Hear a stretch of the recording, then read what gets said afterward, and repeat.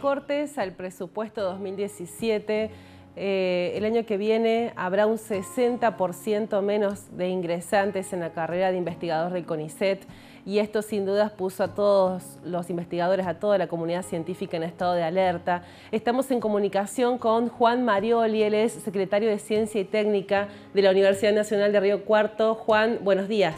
Hola, buenos días. ¿Cómo estás? muy bien, muy bien. Eh, Juan, eh, era un rumor que venía circulando desde hace varios días y finalmente ayer se confirmó este recorte presupuestario. Sí, lamentablemente, eh, según la información que disponemos aquí en la Secretaría, a partir de información generada a partir de miembros del directorio de CONICET,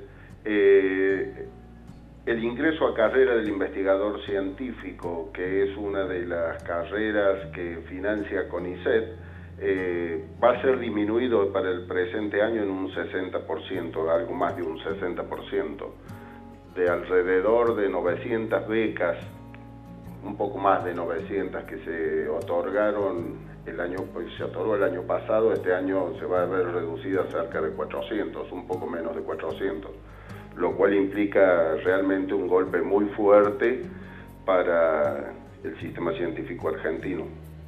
Juan, y sin dudas, eh, lo que decíamos, eh, pone en estado de alerta a todos los investigadores. Sí, por supuesto.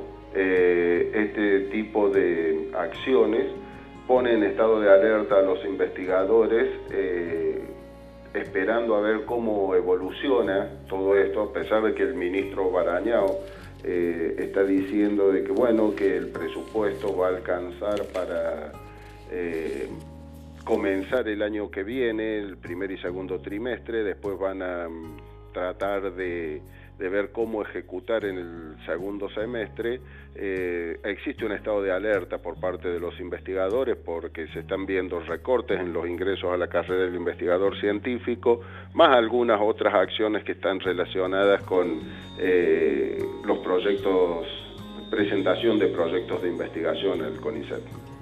Juan, eh, ¿se ha decidido tomar alguna medida en Río Cuarto? ¿Se está expectante en función de lo que se decida en Buenos Aires? Sí, en ese sentido estamos expectantes en función de lo que se decide en Buenos Aires. Yo estoy haciendo gestiones para poder viajar a Buenos Aires o bien gestionar la visita de un miembro del directorio del CONICET aquí a la universidad antes de fin de año para poder acordar algún tipo de acciones. En el Consejo Interuniversitario Nacional eh, se está trabajando al respecto, ya se ha expedido el consejo, ya se ha expedido respecto, a los, respecto de los recortes en ciencia y técnica, y bueno, y veremos de hacer algunas acciones en conjunto con el CONICET.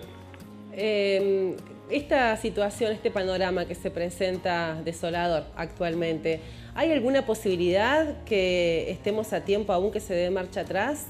con este presupuesto? Siempre existe la esperanza, eh, como dice el dicho, eh, la esperanza es lo último que se pierde.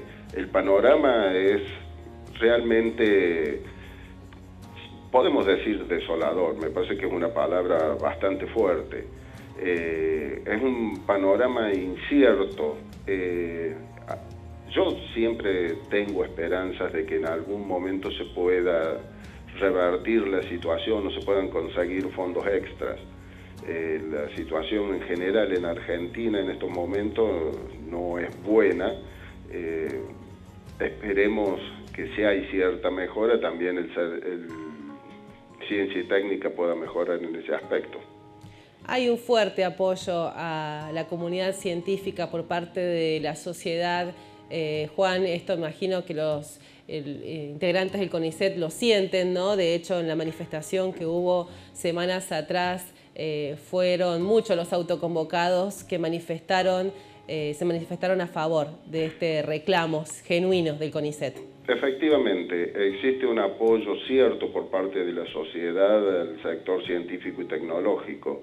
si bien todavía resta transitar cierto camino para que la sociedad comprenda los beneficios que puede otorgarle al país un desarrollo científico y tecnológico propio. Eh, yo creo que la sociedad se está dando cuenta cada vez más de que los destinos de un país están unidos fuertemente a las posibilidades de generar conocimiento en áreas estratégicas para el desarrollo. Bueno, Juan, te agradecemos por esta comunicación. Por supuesto, estamos expectantes eh, de lo que vaya a ocurrir eh, y de las medidas que se tomen. Y, por supuesto, las cámaras de Unirrío están a disposición para lo que ustedes necesiten. Bueno, muchísimas gracias. Un gusto hablar con ustedes. Muy amable. Popsicle.